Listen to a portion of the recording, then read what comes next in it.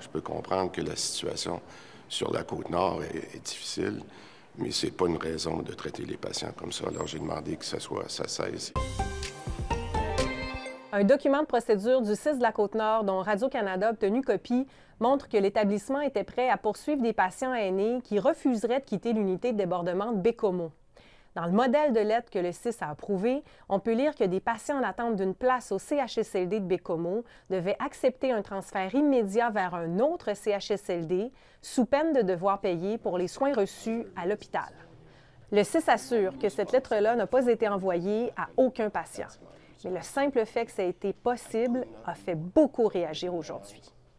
En point de presse ce matin, le ministre de la Santé, Christian Dubé, a qualifié la situation de plus qu'inacceptable. Il a demandé que cesse cette mesure en ajoutant qu'il voulait comprendre qui avait pris ou approuvé cette décision, tant au CIS qu'au ministère. La sécurité des patients nord-côtiers maintenant serait à risque en raison d'un manque de pilotes d'avion, de pilotes d'hélicoptères et de régulateurs de vol. C'est selon le syndicat de la fonction publique et parapublique du Québec. La situation pourrait compliquer les transferts urgents de patients d'un hôpital ou d'une région à l'autre, selon le syndicat.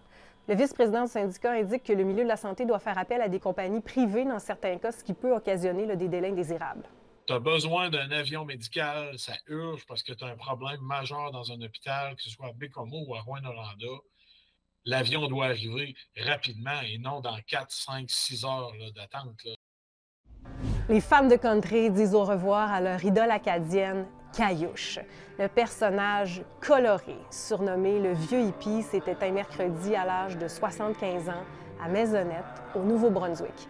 Il s'est inspiré toute sa carrière de la vie quotidienne des Acadiens. Son dernier concert sur la Côte-Nord, ça remonte à 2015. C'était au Centre des congrès de Sept-Îles. Il disait être très proche du public des petites villes.